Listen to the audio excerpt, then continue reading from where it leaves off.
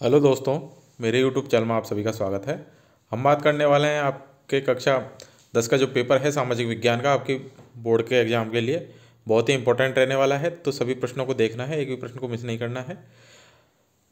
इनमें से बहुत सारे क्वेश्चन आपके एग्ज़ाम में आ सकते हैं। तो पहला क्वेश्चन है जिसमें आपके बहुविकल्पीय प्रश्न है, यानी कि आपको चार ऑप्शन मिलेंगे, एक ऑप्शन का चयन करना है। पहला है, दांडी मार्च कब शुरू की गई? तो दांडी मार्च शुरू की गई थी बारह मार्च उन्नीस सौ तीस को।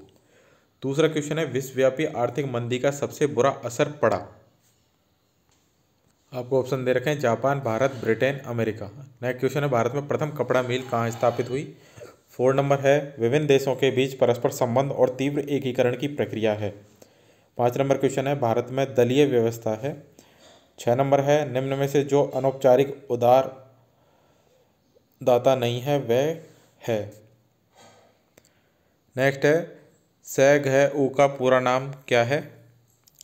अगला क्वेश्चन है, सामाजिक विभाजन अधिकांशतः आधारित होता है। नेक्स्ट क्वेश्चन है, निम्न में से कौन सा विश्व समवर्ती सूची में शामिल है? दस नंबर क्वेश्चन है, यूरोपीय संघ का मुख्यालय कहाँ स्थित है? ग्यारह नंबर है, निम्न में से कौन सा परिवहन साधन भारत में प्रमुख साधन है? बारह नंबर है, भारत का सबसे प्राचीन व प्रमुख उद्योग है। तेरह नंबर है बक्सा टाइगर रिज़र्व किस खनिज के खनन से खतरे में है? नेक्स्ट है, आयु के आधार पर पुराना जलोड़ को किस नाम से जाना जाता है? नेक्स्ट क्वेश्चन है, राजा राममोहन राय के समाचार पत्र का क्या नाम था? अब है आपके रिक्त स्थान जिनकी पूर्ति आपको करनी है। उससे पहले आप सभी से रिक्वेस्ट है कि जिन्होंने चैनल को अभी तक सब्सक्राइब नहीं किया चैनल को सब्सक्राइब कर लें नोटिफिकेशन बेल को ऑन कर लें, जिससे आपको हर वीडियो की अपडेट टाइम से मिल सके। और डिस्क्रिप्शन में व्हाट्सएप ग्रुप का लिंक दिया हुआ है तो जाइए ज्वाइन कर लीजिए। और इसके अलावा अगर आपको कोई डाउट हो तो हमारा व्हाट्सअप नंबर है seven eight double seven eight nine double six four eight. तो आप हमें मैसेज कर सकते हैं। पहला है इसके अंदर एच डी आई का अर्थ है। दूसरा है ऐतिहासिक आख्यान क्या कहलाता है। थर्ड है लोकतंत्र में शासन की अंतिम शक्ति किसके हाथों में होती है। चार नंबर है, भारतीय चुनाव आयोग खाली जगह का पंजीकरण करता है। पांचवा है, खाली जगह पुराना तथा विश्वस्त कर्मचारी होता है। छः नंबर है, बहुराष्ट्रीय कंपनियों द्वारा किए गए निवेश को कौन सा निवेश कहते हैं? सात नंबर है, खाली जगह एक प्राकृतिक उर्वरक है। अब है आपके अति उत्तरात्मक प्रश्न, जिनके उत्तर आपको एक पंक्ति में देने हैं। पहला प्रश्न है, गुमास्ता कौन थे? दूसरा है, महिलाओं को घरेलू उत्पीड़न से बचाने के लिए कौन एक तरीका, कोई एक तरीका सुझाइए। तीन नंबर है लोकतंत्र में सत्ता की साझेदारी क्यों आवश्यक है? छः नंबर है फ्लाई शटल के दो लाभ लिखिए। पाँच नंबर है संगठित क्षेत्र से क्या तात्पर्य है? छः नंबर है वैश्वीकरण किसे कहते हैं? सात नंबर है राजनीतिक दल के प्रमुख अंग कौन कौन से हैं?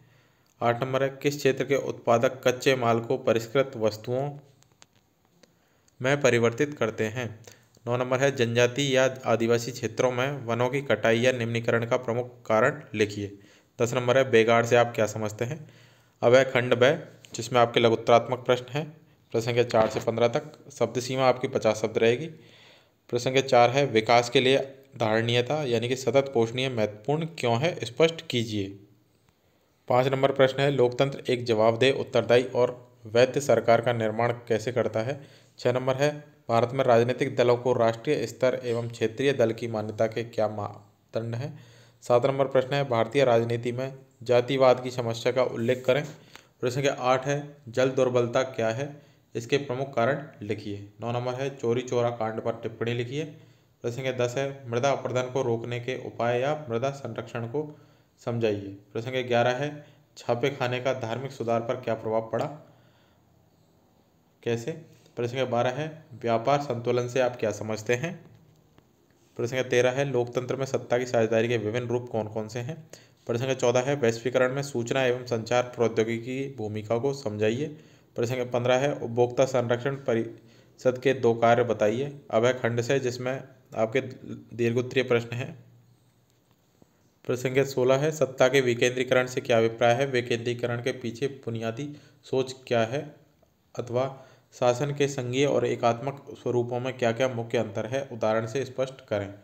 प्रश्न सत्रह है, संगठित व असंगठित क्षेत्र में अंतर स्पष्ट करें अथवा अर्थव्यवस्था के तीनों क्षेत्रकों का संक्षिप्त वर्णन करते हुए स्व उदाहरण।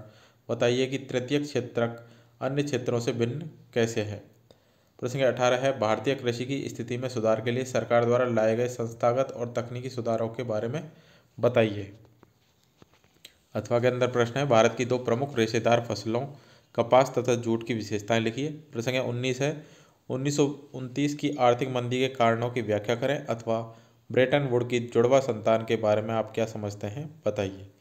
अब है लास्ट खंड तय, जिसमें निबंधात्मक प्रश्न है, आपकी शब्द सीमा ढाई सौ शब्द रहेगी। प्रश्न बीस है, रोमानीवाद से आप क्या समझते हैं, राष्ट्रीयता के विकास में योगदान, लिखिए। अथवा उन्नीसवीं सदी में राष्ट्रों का विकास किस आधार पर हुआ, समझाइए। प्रसंग इक्कीस है, भारत की अर्थव्यवस्था में बैंक किस प्रकार महत्वपूर्ण भूमिका निभाते हैं, स्पष्ट कीजिए। अथवा स्वयं सहायता समूह क्या है? स्वयं सहायता समूहों की कार्यविधि को विस्तार से समझाइए। प्रश्न प्रसंग बाईस है, प्रश्न का उत्तर दिए गए मानचित्र में देना है आपको। भारत के मानचित्र में आपको आणविक ऊर्जा संयंत्रों को दर्शाना है। पहला है नरोरा, दूसरा तलचर, तीसरा कलपक्कम और चौथा रावत बाटा अथवा के अंदर है, आपको लोहा इस्पात संयंत्रों को दर्शाना है। भारत के मानचित्र में पहला है राउरकेला दूसरा है बोकारो, तीसरा बेलाई और चौथा सेलम। तो ये थे सारे इंपॉर्टेंट क्वेश्चन जो आपके एग्ज़ाम में आ सकते हैं। इसलिए सभी प्रश्नों को देख कर जाएँ और याद करके जाएँ, अपने फ्रेंड्स में ज़रूर शेयर कर दें और जिन्होंने चैनल को सब्सक्राइब नहीं किया है चैनल को सब्सक्राइब कर लें नोटिफिकेशन बेल को ऑन कर लें, जिससे आपको हर वीडियो की अपडेट टाइम से मिल सके। मिलते हैं आप सभी से नेक्स्ट वीडियो में। Thank you